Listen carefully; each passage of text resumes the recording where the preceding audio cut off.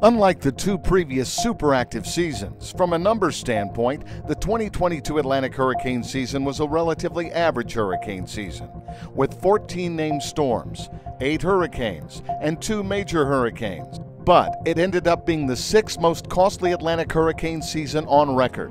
Over the next few minutes, we'll take a look back at this deadly hurricane season. After officially starting on June 1st, the season saw its first named storm with the formation of Tropical Storm Alex on June 5th. It was the first time since 2014 that the first storm of the season actually formed after the season had officially begun.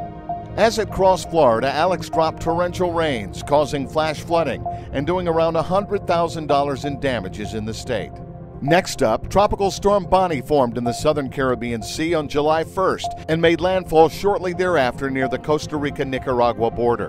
Bonnie crossed over into the Pacific Basin the next day, becoming the first storm to do so since Hurricane Otto in 2016. In an unforecast surprise on July 1st, a low pressure system near Savannah, Georgia suddenly organized into Tropical Storm Colin, a non consequential storm that dissipated on the 2nd inland over northeastern South Carolina.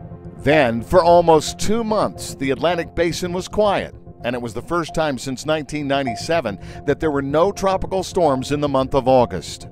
Then, on September 1st, the basin reawakened with the formation of Tropical Storm Danielle over the central Atlantic. When Danielle intensified into a hurricane the next day, it became the latest first hurricane of the season since 2013.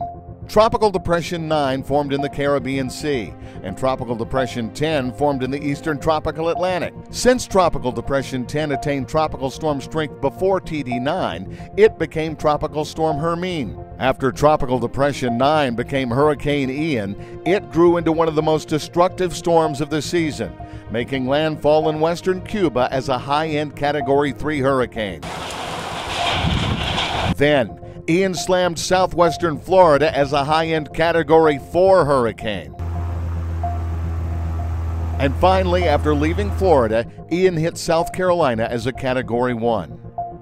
Then finally, becoming one of the season's worst storms and the last named system of the season, Subtropical Storm Nicole was named on November 7th. The next day, Nicole had transitioned into a tropical cyclone, and on November 9th, Nicole made landfall as a tropical storm at Marsh Harbour, Great Abaco Island, Bahamas, with sustained winds of 70 miles per hour. Only hours later, the storm strengthened into a Category 1 hurricane while making landfall on Grand Bahama with sustained winds of 75 miles per hour.